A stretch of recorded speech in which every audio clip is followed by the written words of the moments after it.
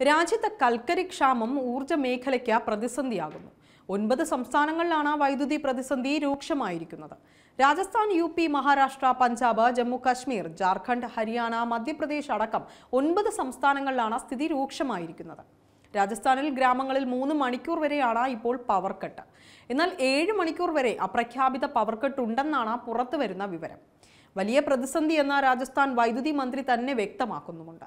താപവൈദ്യുത നിലയങ്ങളിൽ തുടർന്നു വരുന്ന കൽക്കരി ക്ഷാമം വരാനിരിക്കുന്ന വൻ വൈദ്യുതി പ്രതിസന്ധിയുടെ സൂചനയാണെന്നാണ് all India power engineers federation വ്യക്തമാക്കിയിരിക്കുന്നത്. ഒരാഴ്ചക്കിടെ അറുന്നൂറ്റി ഇരുപത്തി മൂന്ന് ബില്യൺ യൂണിറ്റ് വൈദ്യുതി കുറവുണ്ടെന്നാണ് കണക്ക്. ജാർഖണ്ഡിൽ മാത്രം ആകെ വേണ്ടതിന്റെ പതിനേഴ് ശതമാനം വൈദ്യുതി ക്ഷാമമാണ് കഴിഞ്ഞയാഴ്ച റിപ്പോർട്ട് ചെയ്തത്.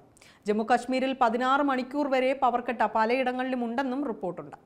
എന്നാൽ ജാർഖണ്ഡ് അടക്കം പല സംസ്ഥാനങ്ങളും കൽക്കരി കമ്പനികൾക്ക് പണം നൽകുന്നതിലെ കാലതാമസമാണ് വിതരണം കുറഞ്ഞതിലെ കാരണമെന്ന് കേന്ദ്ര സർക്കാർ വൃത്തങ്ങൾ വിശദീകരിക്കുന്നുണ്ട്. അടുത്ത മുപ്പത് ദിവസത്തേക്കുള്ള കൽക്കരി ശേഖരം രാജ്യത്തുണ്ടെന്നും ഉന്നത വൃത്തങ്ങൾ വിശദീകരിക്കുന്നു. നിലവിൽ കോൾ ഇന്ത്യ ലിമിറ്റഡിന്റെ പക്കൽ എഴുപത്തിരണ്ട് ദശാംശം അഞ്ച് ദശലക്ഷം ടൺ കൽക്കരി ശേഖരമുണ്ടെന്നാണ് സർക്കാർ വ്യക്തമാക്കിയിരിക്കുന്നത്.